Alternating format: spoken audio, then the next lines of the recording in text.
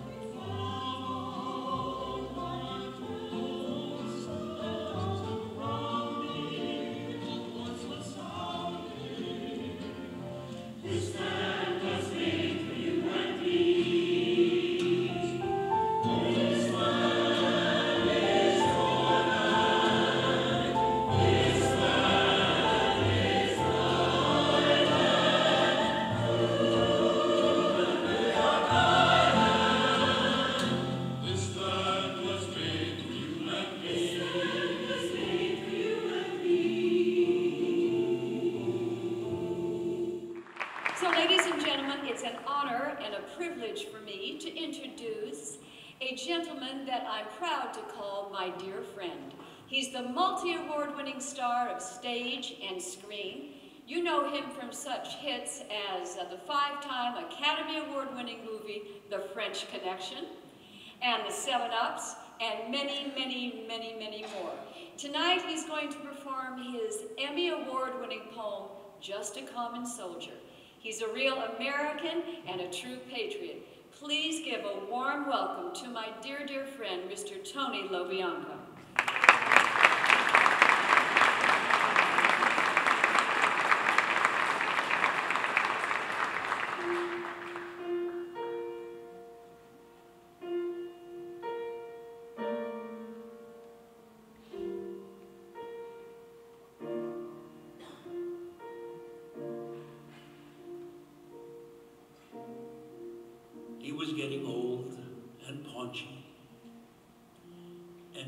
Was falling fast.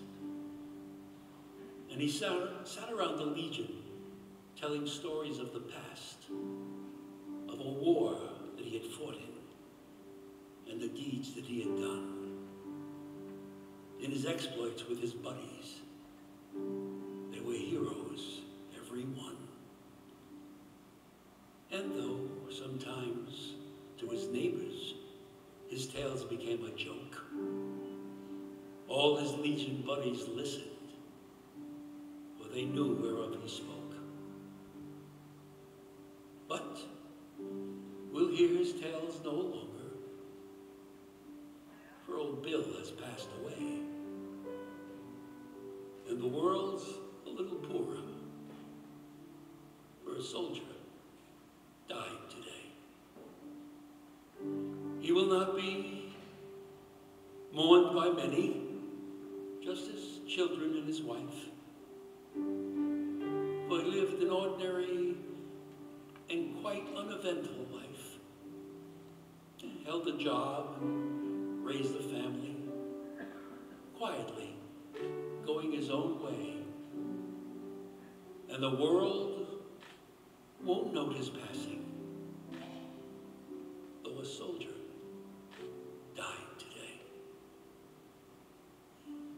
politicians leave this earth, their bodies lie in state, while thousands note their passing and proclaim that they were great. Papists tell their whole life stories from the time that they were young. But the passing of a soldier goes unnoticed and unsung. Is the greatest contribution to the welfare of our land a guy who breaks his promise and cons his fellow man? Or the ordinary fellow who, in times of war and strife, goes off to serve his country and offers up his life? A politician's stipend the style in which he lives are sometimes disproportionate to the service that he gives. While the ordinary soldier, who has offered up his all, is paid off with a medal and perhaps a pension, small. It's so easy to forget them. For it was so long ago that the old bills of our country went to battle. But we know it was not the politicians with their compromises and ploys who won for us the freedom that our country now enjoys. Now, should you find yourself in danger with your enemies at hand, would you want a politician with his ever shifting stand? Or would you prefer a soldier who is sworn to defend his home, his kin and country, and would fight until the end? Yes, he was just a common soldier, and his ranks are growing thin. But his presence should remind us we may need his like again. For when countries are in mourning and in conflict, then we find the soldier's part is to clean up all the trouble that the politicians start. If we cannot do him honor while he's here to hear the praise, then at least let's give him homage at the ending of his days. Perhaps just a simple headline in a paper that would say, Our country is in mourning for a soldier died today.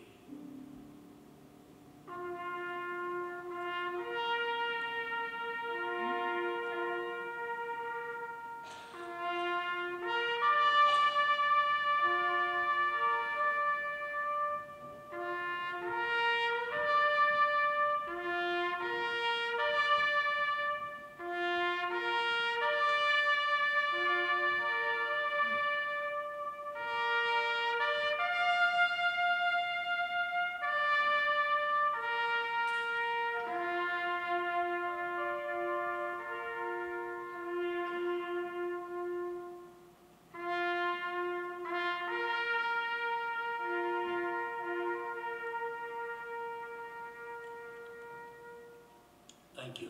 Thank you so much. Welcome to Washington, Tony. How are you? I'm great, Rose. Thank you very much. Great to be here.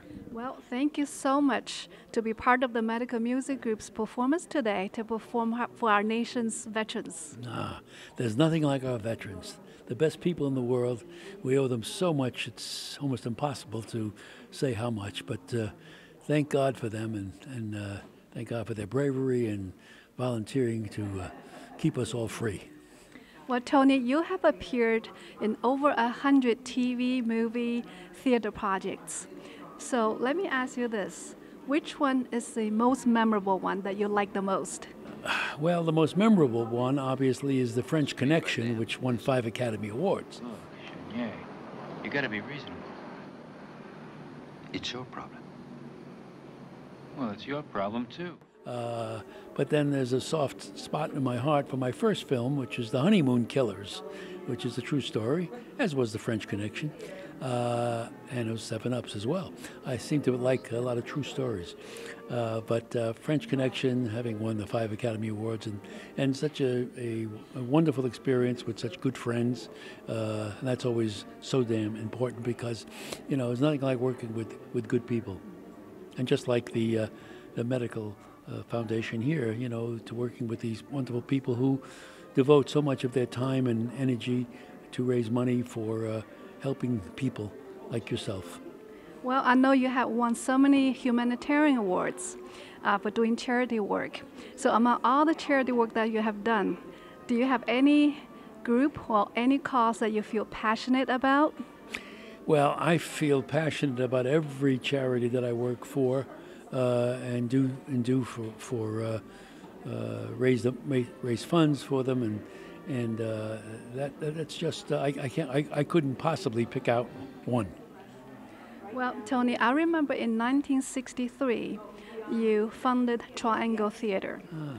And as a New Yorker, so what is the impact of Triangle Theater uh, to the theater and also to actors and actresses? Well, this was a, a really wonderful experience because it was it was something we we did as young people, and I always encourage young people to do things now. I don't mean without responsibility. I mean with responsibility. But uh, you know, in this business, uh, this theatrical business, if you wait to be hired, you're going to wait a very long time. So you really have to uh, do it yourself, be innovative and we did that, and we discovered wonderful people. We had Roy Scheider, you know, Roy, who I co starred with in The French Connection and Seven Ups, and he worked at our theater. And the great Jason Miller. Jason Miller wrote uh, that championship season, the Pulitzer Prize winner, and uh, they all started at our theater. And Mario Fratti, who did the play Nine on Broadway. Uh, these are uh, Jules Fisher, great lighting designer was at our theater and worked with us tremendously.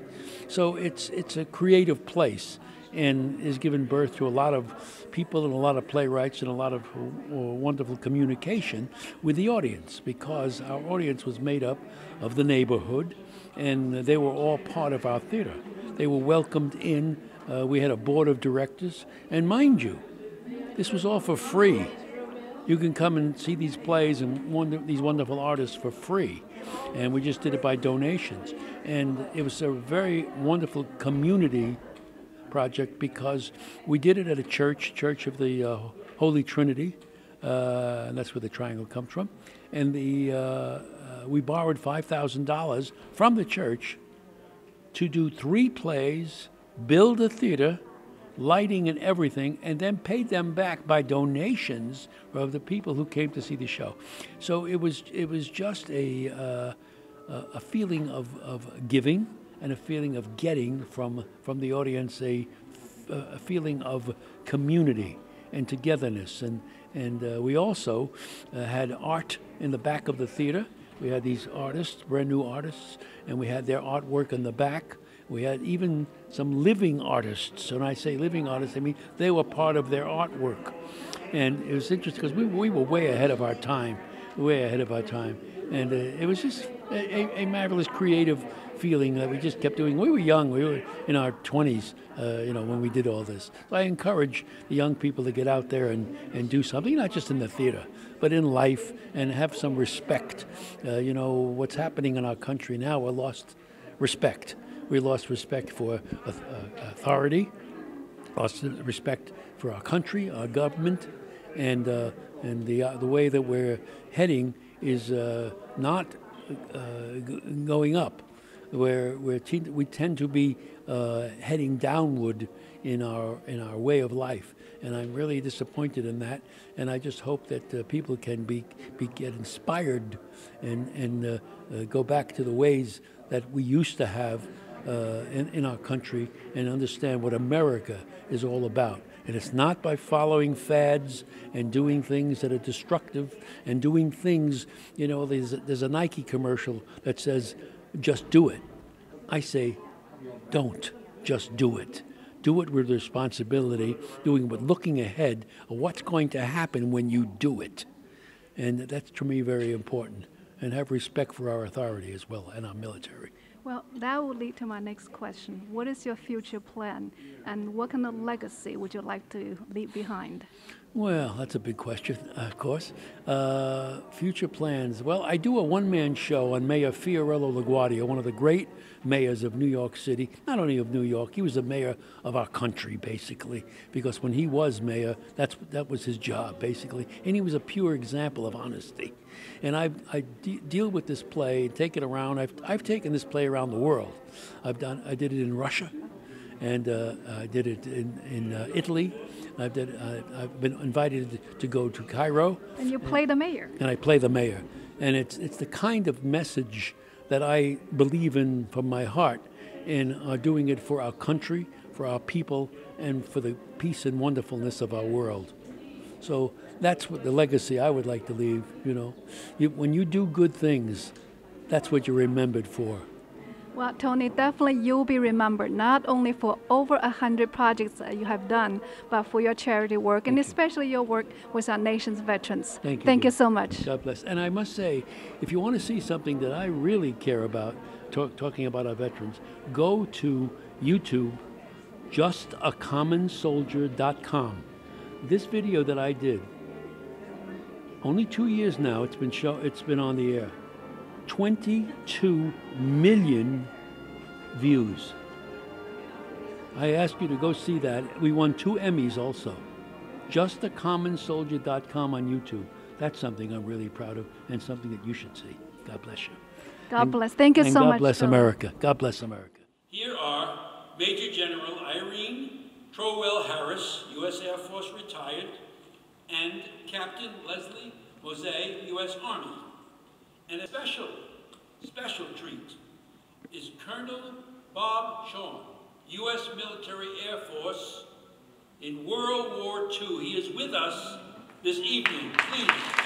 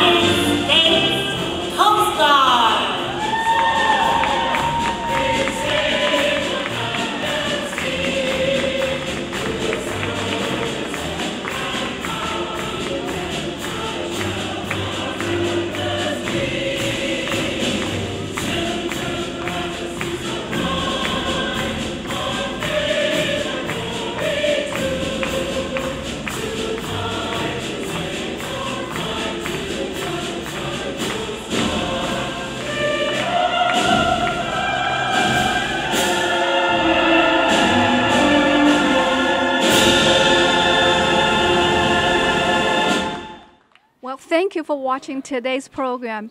I hope you enjoyed today's concert as much as I did. If you're a veteran or if you know a veteran, please share this program with them and thank them for their service to our nation. I will see you next week on the same channel at the same time. Bye bye.